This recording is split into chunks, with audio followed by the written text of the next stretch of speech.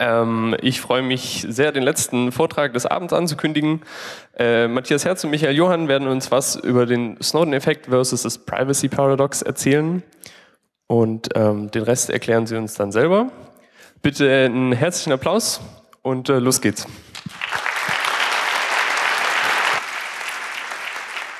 Ja, vielen Dank erstmal noch äh, für die sehr freundliche Begrüßung. Vielen Dank, ist ganz besonders für uns, dass wir heute hier sein dürfen. Als Medien- und Kommunikationswissenschaftler ist das dreifach besonders. Erstens die Uhrzeit, zweitens die Größe des Saals und die Ausdauer des Publikums. Das ist für uns schon äh, ganz interessant. Ähm, bevor wir mit dem eigentlichen Vortrag loslegen, muss ich vielleicht noch kurz äh, sagen, was wir hier so machen. Wir haben auf dem Kongress äh, viele Vorträge gesehen. Wir haben gesehen, äh, wie Dinge vorgestellt werden, die die digitale und elektronische Welt gestalten, verändern, besser machen oder uns Zugänge zu Whirlpools äh, äh, gestatten. Und worauf wir uns konzentrieren als Medien- und Kommunikationswissenschaftler ist der Versuch, äh, diese Welt und die Menschen, die sich drin bewegen, zu verstehen. Und das möchten wir heute äh, gerade entlang äh, der Linien des Privacy Paradox und des Snowden-Effekts mal versuchen. Wir haben dazu äh, unseren Talk in drei Episoden aufgeteilt. Wir haben gesagt, Episode 1 wird die Facebook-Bedrohung sein. Ähm, die Facebook-Bedrohung ist dabei genauso wie der Rest der Studie, die wir vorstellen, zutiefst paradox. Denn wir bewegen uns zwischen Privatheit und sozialen Netzwerken oder Vertrauen und Datensicherheit. Das sind so Themen, ähm, die heute doch ab und an als paradox angesehen werden. Und genau an diesen Linien wollen wir versuchen, äh, die Einstellung von Facebook-Nutzern zur Datensicherheit, zum NSA-Skandal und zu ihrer eigentlichen Nutzung äh, abzufragen. Und dann haben wir es natürlich in eine coole Storyworld verpackt. Ähm, zwar Star Wars, aber bevor ich jetzt zu viel verspreche, schlägt der Medienwissenschaftler zurück und fängt an mit einem Theorieteil. Und ich will erstmal klären, was Vertrauen und Privatheit für unsere Studie war, wie wir es operationalisiert haben und wie wir es eigentlich bei den Leuten abgefragt haben. Denn wenn ich jetzt in der Runde fragen würde, was Vertrauen ist, würde jeder irgendwie sagen, ja, ich verstehe schon ungefähr, äh, was du damit meinst. Aber das kann uns nicht reichen. Also sind wir mal ganz weit zurück in die Geschichte gegangen zu einem heiligen Mann, 13. Jahrhundert, äh, sagte nämlich Thomas von Aquin, dass Vertrauen durch Erfahrung bekräftigte Hoffnung auf Erfüllung von Zuständen unter der Prämisse des Vertrauens auf Gott ist. So. Jetzt ist es so, dass die wenigsten von uns wahrscheinlich in die Kirche gehen und für mehr Datensicherheit beten. Tun wir auch nicht. Ich schätze ihr auch nicht. Wir haben gesagt, wenn wir diese Studie vorstellen, wenn wir schon auf eine Messe gehen und unsere Ergebnisse und unsere Gedanken dazu vorstellen, dann wird es die hier sein. Äh, schon allein aus dem Grund, weil wir gesehen haben, dass ihr wesentlich mehr mit dem Thema anfangen könnt. Ähm, wir haben aber auch gesehen, gerade diese, diese ähm, Definition, die ist sehr stark an einer Kumbaya-Naivität dran. Ja, Gott wird es schon lichten. Darauf können wir uns mit der Definition nicht einigen. Also sind wir ins 20. Jahrhundert gesprungen, haben gesagt, das sagt den Georg Simmel dazu. Georg Simmel sagt, Vertrauen ist ein mittlerer Zustand zwischen Wissen und Nichtwissen, der Hypothesen auf künftiges Verhalten zulässt. Und gerade auf diesen Hypothesen, die müssen sicher genug sein, um künftiges Handeln des Selbst überhaupt erst zu ermöglichen äh, und zu stützen. Da sind wir jetzt schon wesentlich mehr in einem gewissen gesunden Skeptizismus, der uns interessieren muss. Der NSA-Skandal hat uns etwa gezeigt, äh, dass wir inzwischen wesentlich mehr wissen und dass das Vertrauen gerade in gewisse Akteure vielleicht ein bisschen drunter gelitten hat. Damit können wir schon wesentlich besser arbeiten. Worauf wir aber dann in letzter Instanz gekommen sind, ist Vertrauen nach Goldberg und Händler, die sagen, Trust in a person is a commitment to an action based on a belief that the future actions of that person will lead to good outcome. Hier ist dieser Abwägungsprozess genauso drin und, und das ist gar nicht so unwichtig bei Vertrauen, er ist sehr ich-bezogen. Ich will, dass wenn ich schon Vertrauen zu jemandem habe, eine Person, kann eine Person, kann eine Institution, staatlicher Akteur sein, äh, dann sollte das im besten Fall auch gut für mich ausgehen. Soweit mal zur Vertrauensgeschichten, da kommen wir später nochmal drauf zurück. Springen wir mal zur Privatheit. Da müssen wir gar nicht mehr so weit zurück in die Vergangenheit gehen. Da müssen wir nur bis 1819 gehen, wo Samuel äh, Warren und Louis Brandeis einen sehr berühmten Aufsatz geschrieben haben, und zwar The Right to be, uh, The Right to Privacy, wo sie Privatheit als The Right to be let alone bezeichnen. Man muss vielleicht dazu sagen, das waren zwei sehr bekannte Juristen in den USA, die hatten nur äh, ein bisschen Probleme mit den Bleistiftpaparazzis zu der Zeit. Die hatten nämlich sehr viel Interesse an ihren Familien gehabt und deshalb sind sie gesagt, wir rufen jetzt mal ein Right to Privacy aus, nur um unsere Familien und uns selber zu schützen. Dann werden wir vielleicht irgendwann Verfass äh, werden wir mal Verfassungsrichter. Ähm, ganz nebenbei haben sie dann eine sehr lange Tradition mit äh, der Auseinandersetzung mit diesem Begriff angestoßen als negative Freiheit. Negative Freiheit heißt, wir haben das Recht zu sagen, das ist mein privater Raum und da darfst du jetzt nicht rein. Das will ich jetzt nicht. Und in jüngerer Zeit haben Philosophen wie Alan Weston oder dann Beate Dössel gesagt, das ist ein sehr guter Ansatz, dieser Kontrollgedanke, und die haben das in Dimensionen aufgesplittet. Ähm, Beate Dössler spricht von der informationellen Dimension des Privaten. Für uns sehr interessant, wenn es gerade um Daten geht, wenn es um Informationen über Personen geht. Es gibt eine dezisionale Ebene, das sind dann Entscheidungsfreiheiten, Entscheidungsgewalten oder auch die Autonomie des Körpers, wo wir sagen, das geht dich jetzt gerade nichts an. Und die lokale Dimension ist die dritte, wo man sagt, das kann tatsächlicher Raum sein, wie hier, kann virtueller, ein metaphorischer Raum sein. Und so binden wir es zurück. Wir haben uns dann gedacht, wir bündeln das Ganze in einer Definition nach Irvin Altman, der sagt, es, äh, Privatheit ist Selective Control of Access to the Self. Und das digitale Selbst soll uns in diesem Kontext ganz wesentlich interessieren. Was man bei diesen Begriffen sieht, das sind immer Abwägungsprozesse, wo Dritte mitgedacht sind, Zweite und Dritte. Und was Irvin Altman dazu sagt, ist Privatheit, und das ist ganz wichtig, ist nicht, äh, nicht automatisch Isolation. Privatheit heißt nicht, ich schotte mich von allem ab, sondern Privatheit ist ein Abwägungsprozess. Wie viel soziale Interaktion will ich machen? Was will ich dafür preisgeben und wo will ich mich andererseits wieder abgrenzen? Es sind im Endeffekt zwei Maximen, die aufgestellt werden. Also, gib so viel Preis, dass du sozial erfolgreich bist, auf der einen Seite, und auf der anderen Seite, gib so wenig Preis, dass du mit deiner Privatheit im Einklang bist. Und die konkurrieren miteinander, und wenn die in Einklang gebracht werden, haben wir ein optimales Level an Privatheit. So. Wie verknüpfen jetzt diese Begriffe? Seit dem NSA-Skandal erleben ein paar Akteure ein gewisses Tief, was das Vertrauen in in ihre Handlungen, in ihr Tun und ihre Argumentationsweisen angeht.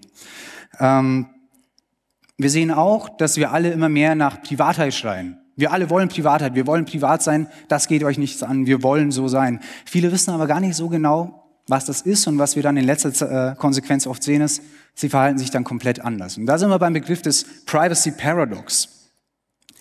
Das Privacy Paradox wird von Monika Tadiken ganz schön auf soziale Netzwerke beschrieben, wenn sie sagt, Indeed, it has been shown that users of social network sites state that they are worried about their privacy, but put at the same time detailed personal information on their profiles. This phenomenon has been described as the Privacy Paradox.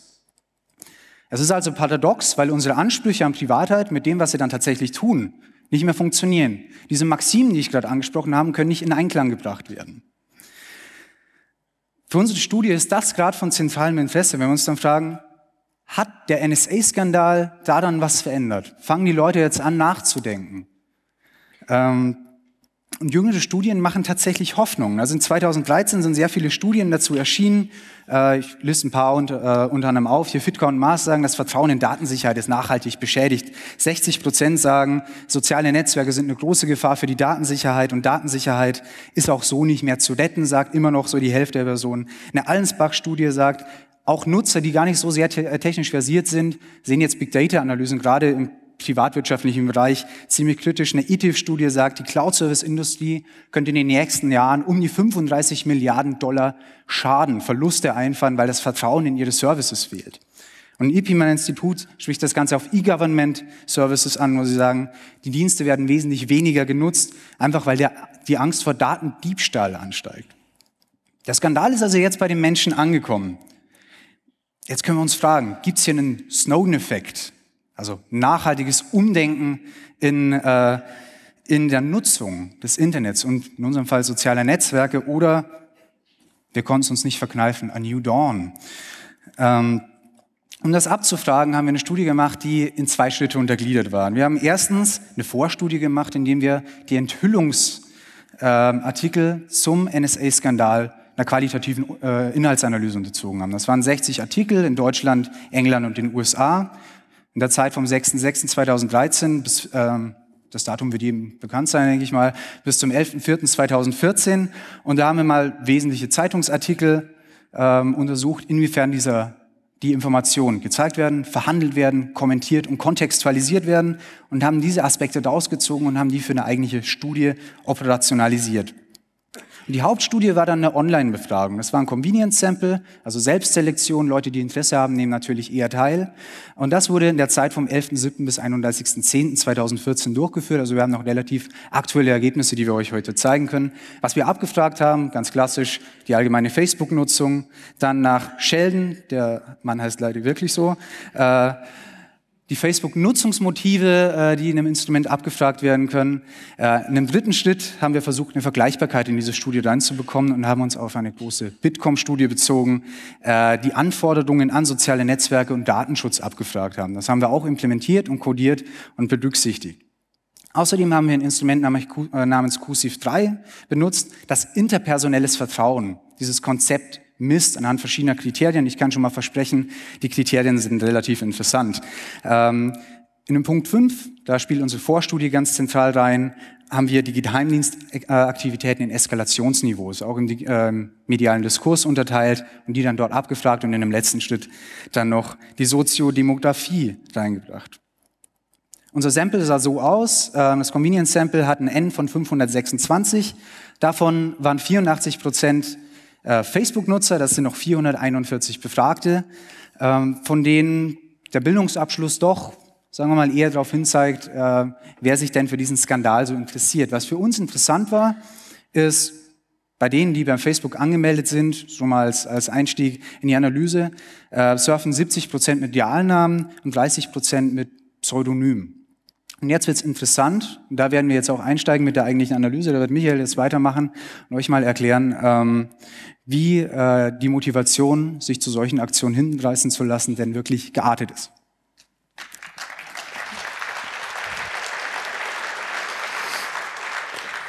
Ja, wir haben das Ganze mit Episode 2 übertitelt, Angriff der Cyberkrieger. Ähm, Matthias meinte schon gerade, am 6.6.2013 ähm, kam es raus, dass die NSA wohl doch einige Leute überwacht hat, äh, globale Art und Weise.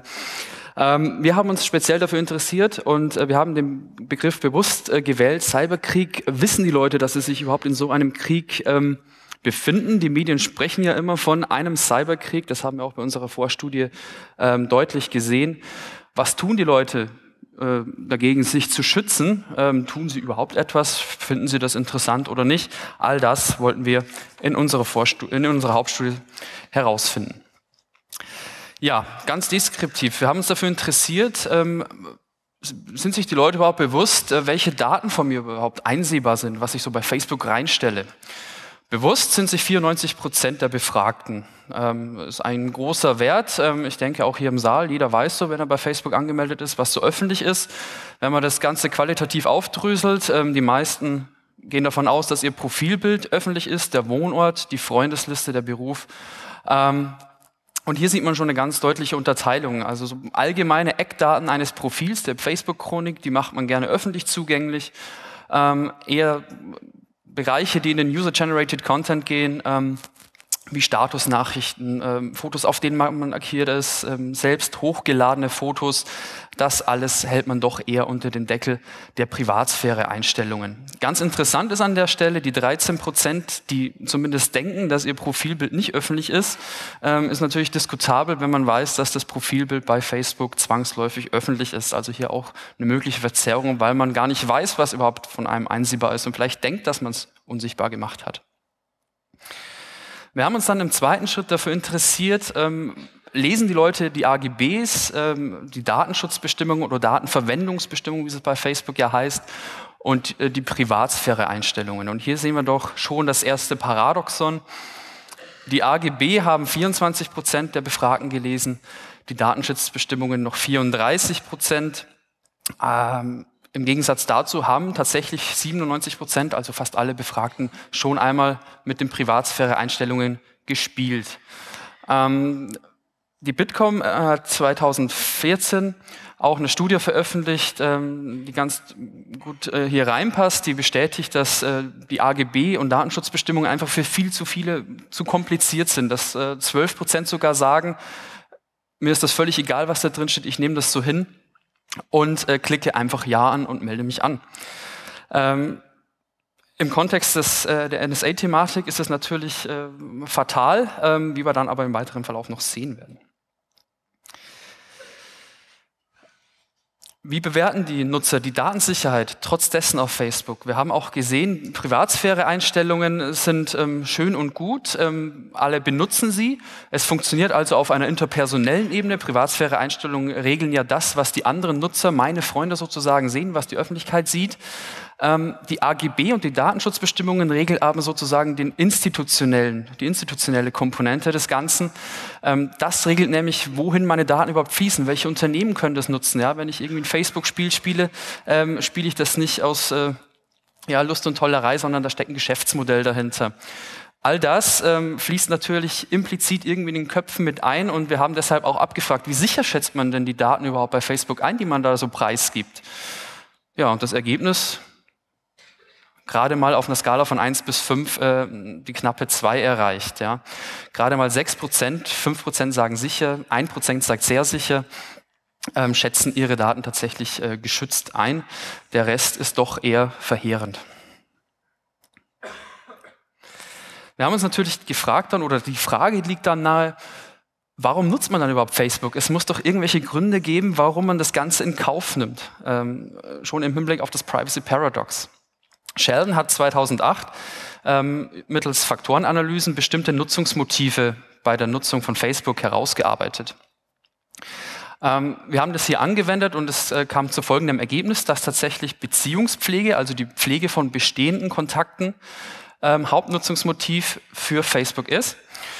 Ähm, Unterhaltung zieht da noch mit, ähm, also Unterhaltung, Information, man will sich irgendwie ja, so ein bisschen ähm, ablenken. Der Zeitvertreib, gut, man hat das Smartphone gerade da, surft mal schnell, guckt, was gibt's Neues. Ähm, diese Nutzungsmotive treffen zu beziehungsweise eher zu, sind so im mittleren Bereich. Ähm, es ist ganz klar die Beziehungspflege. Weniger Aspekte der Coolness, weil es irgendwie ein sozialer Druck ist, dem man ausgesetzt äh, ist, weil vielleicht die Freunde bei Facebook angemeldet sind und man das natürlich auch will, weil man gucken will, was so los ist, weil man sich vielleicht auch selber profilieren möchte. Es ist weniger der Community-Gedanken, der vor allem in Foren klassischerweise vorherrscht. Also es ist wenig dieses kollaborative Element hier enthalten. Und es ist am wenigsten der gesellschaftliche Aspekt, dass man neue Kontakte sucht, sondern es ist im Gegensatz dazu eben genau der Punkt, dass man bestehende Kontakte pflegt. Die private Kommunikation verlagert sich also zunehmend in die virtuelle Welt. Und gerade im Hinblick auf äh, den NSA-Skandal ist es dann doch interessant zu gucken, ob das das Ganze aufwiegt. Ja, wir haben gesehen, die eingeschätzte Sicherheit der Daten bei Facebook ist ja, mit, mit einer Bewertung von zwei von fünf ähm, für die User im Durchschnitt eher sehr gering. Wir haben dann äh, gefragt und äh, versucht, den Anschluss herzustellen an die Bitkom-Studie und die große von 2013. Was für Anforderungen hat man speziell an Facebook und vor dem Hintergrund der NSA-Thematik? Ja? Und hier bilden sich ganz interessante Cluster. Wenn man mal die ersten drei Zahlen betrachtet, ein überwiegender Teil ja, bewertete Datenschutz als eine wichtige Anforderung, umfangreiche und einfache Privatsphäre-Einstellungen und die Datensicherheit als sehr wichtig beziehungsweise wichtig. Wir liegen hier jeweils immer über den 80 Prozent. Ähm, der Cluster, der sich hieraus ergibt, ist dieser Datenschutzcluster. Im Gegensatz dazu sind die funktionalen Aspekte äh, eher weniger wichtig. Also es kommt nicht auf eine hohe Benutzerfreundlichkeit an. Hier würde man Abstriche machen. Äh, es kommt auch nicht auf den Funktionsumfang oder auf die Internationalität des Netzwerks an. Nein, ganz klar hier die Forderung, wir wollen ein sicheres Netzwerk haben.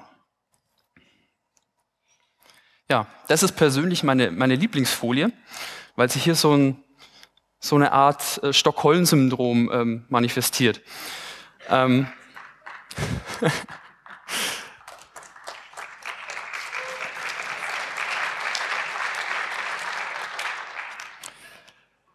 Welche Anforderungen haben wir dann an den Datenschutz oder haben die Befragten an den Datenschutz? Ja, die Forderung wird ganz klar adressiert. Einerseits an die sozialen Netzwerke, die müssen äh, laut der Nutzer, die wir befragt haben, ähm, für ne, die Transparenz der Datenverwendung sorgen. Jetzt, wenn man aber überlegt, was, was ihr vorher gesehen habt, ähm, das sind genau die, die nämlich die Datenschutzrichtlinie äh, nicht gelesen haben. Zu einem hohen Prozentteil. Und die wünschen sich transparente, ja. Also man sieht schon, ähm, irgendwas äh, klafft da auseinander, ist es paradox. Ähm, ganz klar adressiert an die sozialen Netzwerke auch, die müssen für besseren Datenschutz sorgen. Und auf Rang 3, die Regierung muss strengere Regeln erlassen für den Datenschutz in sozialen Netzwerken. Also ich weiß es nicht, ähm, ob wir noch drauf warten können. Ähm, Gerade was auch ähm, die sozialen Netzwerke betrifft, wir haben da mal einen Blick reingeworfen in diese wirklich umfangreichen Datenverwendungsrichtlinien. Ähm, das ist nur ein sehr kleiner Ausschnitt äh, aus dem Ganzen. Ähm, da wird erklärt unter dem Kapitel, wie wir uns, bereit, uns bereitgestellte Informationen verwenden. Ich will jetzt da gar nicht auf alles eingehen, sondern auf den letzten Teil. Also die Daten werden verwendet als Teil unserer Bemühungen, Facebook-Produkte, Facebook-Dienste, Facebook-Integration sicher zu gestalten. Ja, klingt ganz gut. Ähm, die Bemühungen da, ja, lobenswert. Ähm, Mark Zuckerberg, wenn du das hörst, ähm, stets bemüht, heißt äh, in meinem Verständnis ähm, eine glatte 5. Also insofern sollte man sich schon fragen hier, ähm, ist es wirklich lohnenswert, tatsächlich sich die ähm, äh, Datenschutzrichtlinien durchzulesen, seine Anmeldung da zu überdenken. Und ähm, ja, gehen wir weiter im Programm. Die Verhaltensveränderung nach dem NSA-Skandal im Speziellen hat uns dann nochmal interessiert. Also wir haben sie, die Befragten tatsächlich konfrontiert mit, äh, mit den Entwicklungen, haben das nochmal umrissen.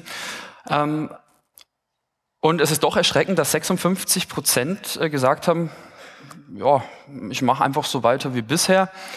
Ähm, von den 44 Prozent, ähm, die Veränderungen äh, durchgeführt haben, ähm, gab es verschiedene Möglichkeiten, hier ähm, eine Mehrfachauswahl zu treffen.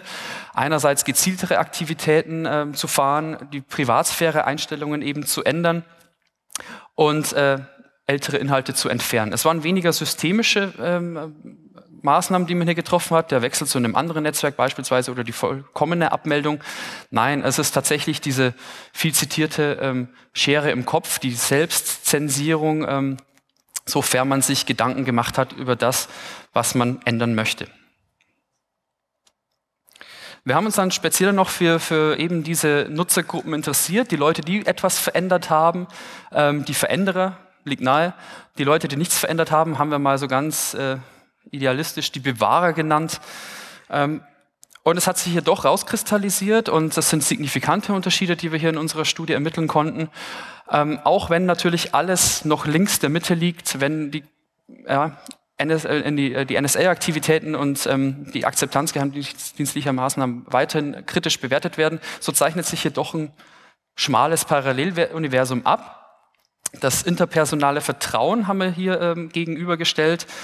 Leute, die sozusagen ihre Facebook-Einstellungen, ähm, ihre Facebook-Nutzungsweise nicht verändert haben, zeichnen sich grundsätzlich durch ein höheres interpersonales Vertrauen, also auch Vertrauen im Alltag zu Personen aus. Ähm, solche Leute, die Einstellungen nicht verändert haben, ihre Nutzungsweise nicht verändert haben, akzeptieren generell eher, ja, also man muss andersrum sagen, sie, äh, sie kritisieren weniger die äh, geheimdienstlichen Maßnahmen und sie schätzen ihre Daten weniger gefährdet an als solche, die tatsächlich zu einer Veränderung ähm, sich hin, hinreißen haben lassen. Ja, diese Akzeptanz der geheimdienstlichen Maßnahmen, der wollten wir noch weiter auf die äh, Schliche gehen sozusagen insgesamt. Und ich fange ganz rechts an auf dieser Slide geheimdienstliche Maßnahmen, so wie sie sozusagen in den Medienberichterstattungen die öffentliche Meinung geformt haben, werden kritisch betrachtet, ganz klar. Hier mit einem Mittelwert von 2,2 knapp. Ähm, aber wir haben dann nochmal differenziert. Es gibt verschiedene Arten, verschiedene Eskalationsstufen von Maßnahmen, die wir hier herausgearbeitet haben. Maßnahmen mit Gerichtsbeschluss werden eher toleriert. Ja, das ist, äh, tendiert zur Mittelkategorie. Da sagt man dann, okay, wenn ein Gerichtsbeschluss da ist, dann, dann halte ich mich da eher neutral. Maßnahmen ohne Gerichtsbeschluss, bespitzeln ohne Anfangsverdacht, wie wir es hier ganz ähm, ähm, zugespitzt mal genannt haben. Also diese klassischen geheimdienstlichen Maßnahmen, die man so im Kopf hat, die werden nicht toleriert, das ist, glaube ich, ganz klar. Aber interessant dann auch die Tendenz zur Mitte dann auch bei geheimdienstlicher Koordination, also der Datenaustausch zwischen Geheimdiensten, diese viel zitierte Ringtausch auch.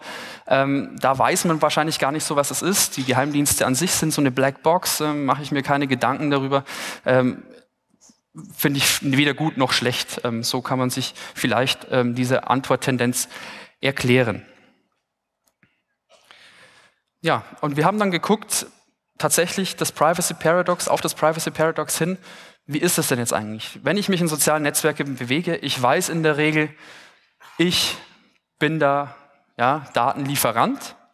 Ich habe auch einen bestimmten Nutzen davon. Und ähm, es ist so, dass es natürlich, dass die Nutzen Aspekte mit reinspielen, aber trotzdem die Einschränkungen, die, da, die, man daraus hat, die Abstriche, die man machen muss, beispielsweise die ja, Weitergabe von Daten, ähm, Einschnitt in die Privatsphäre, wiegen diese Nutzenaspekte ganz bildlich gesprochen, deshalb ja auch das gewählte Bild der Waage, ähm, nicht, ähm, nicht auf. Das Ganze hat ein Aber. Ja, ich gehe nochmal zurück. Die Unterschiede fallen vielleicht nicht so arg aus. Hier ist auch wieder breite Mittelkategorie, wie wir es vielleicht vermuten möchte. Ähm, es bewegt sich doch eher alles ähm, mit Tendenz zur Mitte. Und das Zweite aber ist, ähm, wir haben das Ganze nochmal in eine Regressionsanalyse gesteckt, also überprüft, inwieweit diese Nutzenaspekte, diese einschränkenden Aspekte Einfluss haben auf die generelle Akzeptanz von geheimdienstlichen Maßnahmen. Und es hat sich gezeigt, dass ein signifikanter Einfluss nur durch Nutzenaspekte da ist.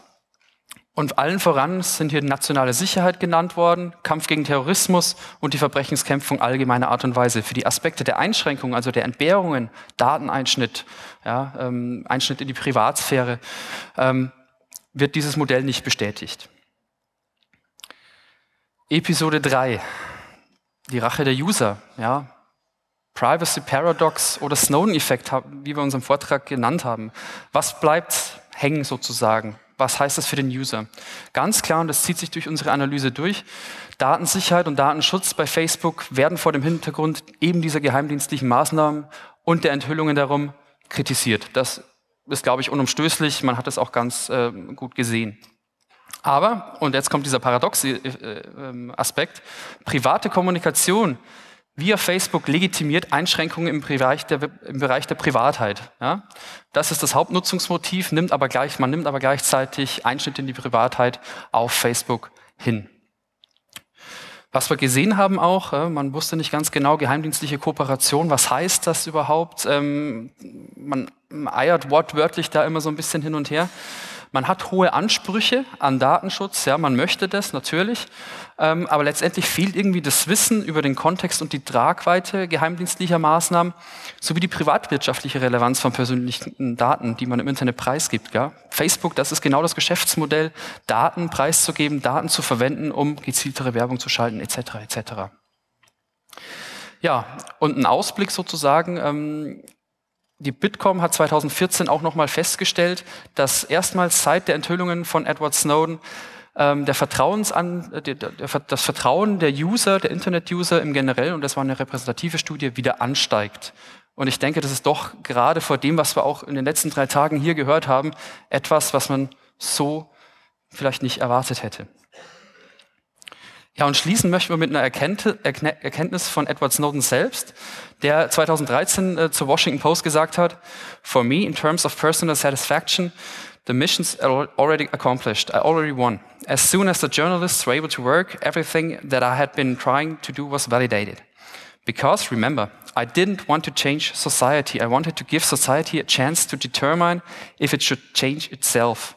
Und es sind genau das, die Dinge, die wir in den letzten drei Tagen gehört haben, das Aufdecken von Sicherheitslücken, das, äh, ja, das äh, Enthüllungen, ähm, wie sie im NSA-Skandal gemacht wurden, aber auch die Medienberichterstattung, die die öffentliche Meinung forscht und eine, damit meine ich eine differenzierte Medienberichterstattung, die eben zur Auflösung dieser Privacy-Paradoxien beitragen sollen, um letztendlich der Gesellschaft ihren eigenen, ihre eigene Veränderung zu ermöglichen.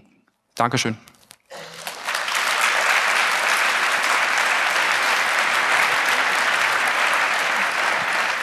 Okay, vielen Dank bis hierhin schon mal. Ähm, da wir hier danach nur den Stream des Google Quizzes haben und da nicht allzu viel Vorbereitungszeit für brauchen, haben wir noch ein paar Minuten Zeit für ein paar kurze Fragen. Äh, wir fangen direkt mit einer aus dem Internet an. Ja, eine ganz kurze Frage. Äh, publiziert ihr die Rohdaten? Können wir gerne machen. Ja, können wir so gerne ja. machen. Okay, klar. dass man selber statistisch analysiert. Ja, klar. Mm, und dann, äh, wie sieht es aus mit dem technischen Know-how der befragten Personen. War das, äh, also könnt ihr da was zu sagen?